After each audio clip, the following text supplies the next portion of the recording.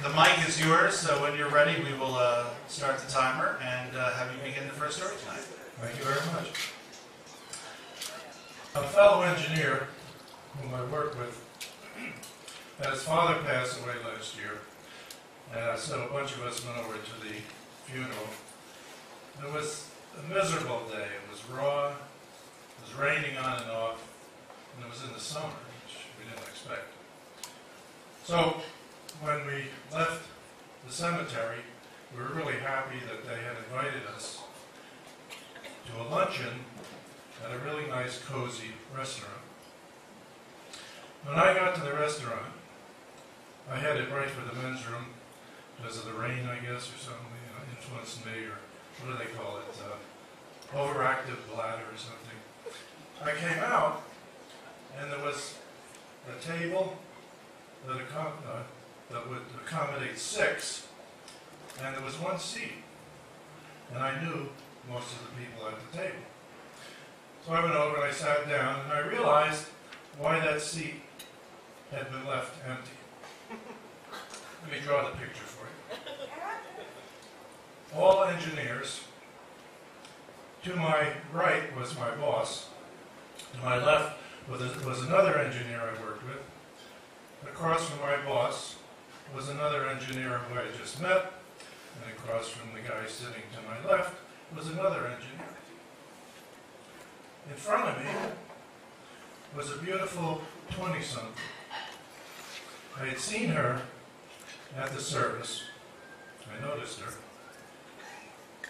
And let me describe what she was wearing. You've seen the Pauli girl on the beer bottles? Okay. So it's, it's a barmaid's dress she had on, you know, square cut, low, with lace around it. So here I am, I'm about two feet away from her, directly across from her. And uh, I could look at her face, and I could look at my food, I could look at the guy over here, the guy over here, over here, over here, wave to somebody at one of the other tables. But it was like having a, a 21 inch TV me that had a very interesting program on that I could not watch. Now this lasted, what, the luncheon lasted for about an hour, so you can imagine the torture I was in. Now engineers uh, are not so good in the social realm, you know, they, they, they study physical science, not social science. So I could see the gears turning in everybody's head. I could see the smoke coming out of the ears, trying to think of something to say. And finally, I said to the girl, I said, I hope that we don't bore you with a lot of engineering talk.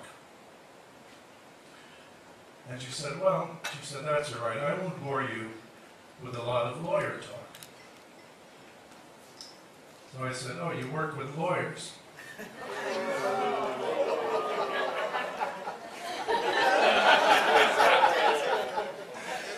There was kind of a pregnant pause there. And she kind of looked at me, not, you know, not with a real terrible look, but very direct. She said, I am a lawyer. So I never felt more like a, a male chauvinist pig in my life. So, and then the wheels are turning in everybody's head trying to figure, okay, what can we say about law? So, we did start to talk a little bit about law, you know, what her specialty was, and, and I don't remember a single thing she said. Because I was, I was busy trying to keep my eyes here or here or here or there. Okay. so I finally came up with a bright idea. I'm going to ask you, you know, an academic question.